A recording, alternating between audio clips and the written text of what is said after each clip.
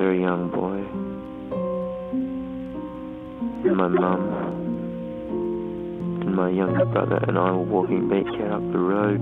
There was a huge black shaggy dog. And then was dreading this day because we had to put him down.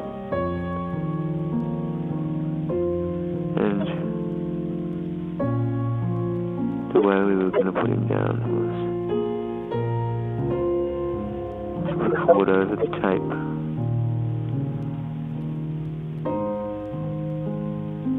Once we recorded over it, this tape onto the other tape and made them blank,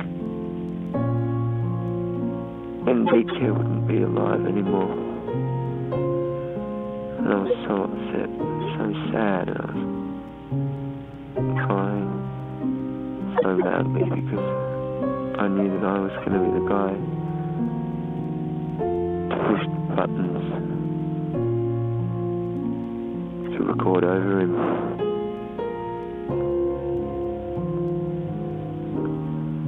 The first time that I tried, I got it wrong. I pressed play, but I didn't press play and record at the same time and I could hear Beatcare on the tape, and he was still alive. But then,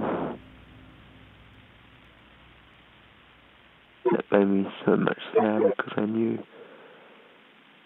how terrible it would be if Beatcare wasn't alive anymore. For some weird reason, I knew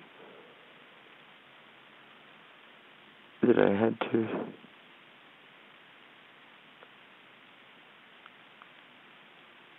And then I did.